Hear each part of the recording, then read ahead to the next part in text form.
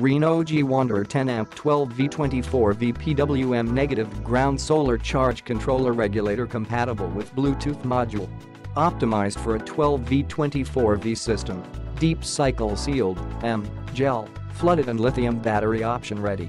Smart 4-stage PWM charging, bulk, boost, float, and equalization increases battery life and improves system performance.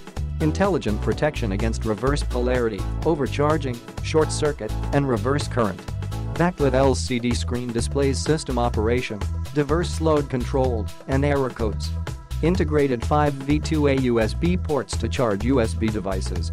Compact in size makes it easy to install virtually anywhere.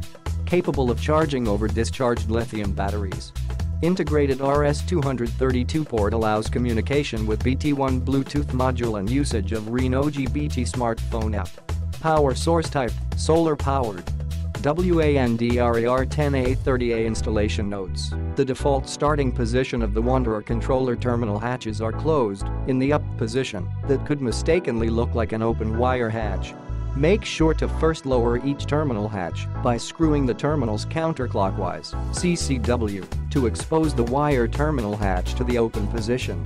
Then secure each cable by rotating the screws clockwise CW to the closed position. Simple install, fully open the hatch, CCW, insert the appropriate wires, and completely close the hatch, CW.